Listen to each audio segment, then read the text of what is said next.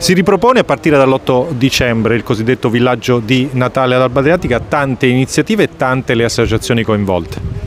Sì, le associazioni coinvolte sono ben 14 più l'Istituto Comprensivo di Alba Adriatica, quindi è un lavoro questo che è già partito all'inizio del mio assessorato, una condivisione continua con le realtà del territorio che hanno portato prima al grande successo del Carnevale come Capofila Paidia e adesso ribadiamo l'importanza di condividere certe scelte per cui si andrà a creare insieme il villaggio di Natale, l'Alba Christmas Village, Capofila, spiaggia, la Proloco Spiaggia d'Argento. Verrà ricollocato il tendone con iniziative che poi abbracceranno tutte le fasce di età, anche con la pista di pattinaggio. Sì, diciamo che il contorno equivale alla posa della pista di ghiaccio, quindi di pattinaggio, eh, alle giostre e al tendone per cercare di rendere eh, più lieti gli eventi all'interno dello stesso. Ci saranno più di 30 eventi, la partenza ovviamente dall'8 di dicembre, invito a questo punto la città a partecipare dalle 16 in poi con l'accensione delle luci dell'albero di Natale e termineranno fino a dopo l'Epifania. Sono 30 eventi di una grossa importanza che, vanno, insomma, che interesseranno i bambini,